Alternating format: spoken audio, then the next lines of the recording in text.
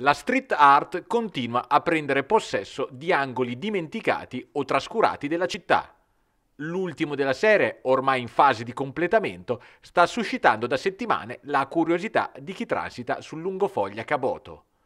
Piacciono e affascinano le pennellate lungo il fiume di una Pisaurum antica sospesa fra passato e presente di una clessidra che rimbalza fra una dimensione mistica e onirica. Un murale che è l'ultimo della serie organizzato di concerto con l'amministrazione comunale che avviò a inizio 2021 il progetto Sottopassaggi d'arte urbana che hanno portato ad abbellire il vicino sottopassaggio di via Milano a tinte blu in onore delle colline pesaresi, quello di via Lamarca in un variopinto collage di immagini in memoria del compianto Zagor Camillas o quello di Loreto dedicato a Pesaro, città della musica. Non solo sottopassaggi però.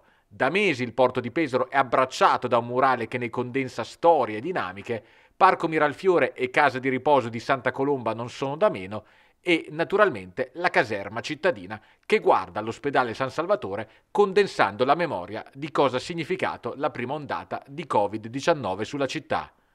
Ora il fiume Foglia allunga una lista di opere pittoriche destinate a continuare.